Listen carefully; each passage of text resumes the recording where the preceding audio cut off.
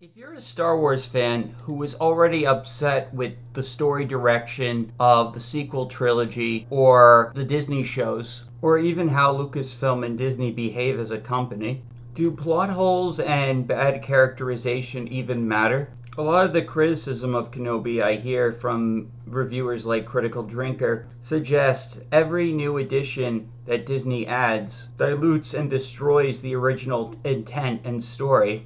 I gave up on Disney Plus after the Gina Carano drama, and I gave up on Star Wars shows after Boba Fett sucked. Anyone who watches new Disney stuff and was already upset with the direction, you only have yourself to blame when you watch and review the new stuff. Lucasfilm has made it very clear what direction they want to take the series, even if it's something we don't want watching it and giving it attention really doesn't solve anything but embolden agitator factions within Lucasfilm. Agitators like Pablo Hidalgo, who made fun of one of the biggest Star Wars channels on YouTube. A cancer survivor that, despite everything bad that goes on with Star Wars, he still continues to make Star Wars content. And he does so trying to be very positive. I think we live in a very bitter and jaded society, unfortunately. And that's why people are so protective over old media, even when they've completely written it off and said they're not going to consume it anymore. If you feel Disney shows and movies are badly written nowadays, then you shouldn't be surprised when it is badly written and doesn't meet your expectations. I have not seen the show, only clips of certain fight scenes.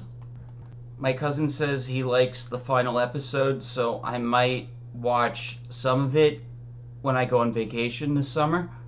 But I already know the ending, and I can choose to regard it all as fan fiction because I still have my 2011 Blu ray collection of the Lucas movies.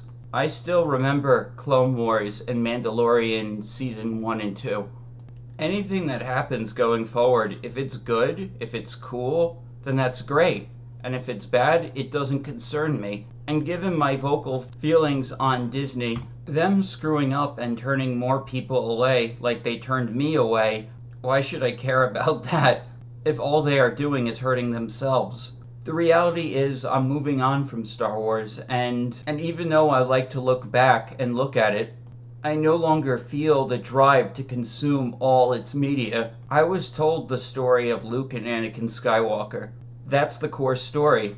I have that story embedded in my mind and in my heart. Nothing Disney does can ever pervert that story or take it away from me. No amount of retcons or plot holes or bad characterization can diminish it, not unless I allow it. I do hope that one day Disney and Lucasfilm see the error of their ways, that how they treat people online and how they treat the legacy characters matters to people. Attempts to diminish old characters to support new characters is only going to make people resent those new characters. The way Boba Fett was treated in his own show versus how The Mandalorian was treated says everything. But Mando didn't need propping up. People already liked him. Same with Fennec Shand and Cara Dune, who you got rid of. Star Wars was heading in the right direction, and then somewhere down the line it veered off course. Since I can no longer trust Star Wars for quality or consistency, I'm just moving on to other science fiction and fantasy franchises, and hopefully something new and better and similar to Star Wars will come out from a major studio. What are your thoughts on Disney canon and plot holes?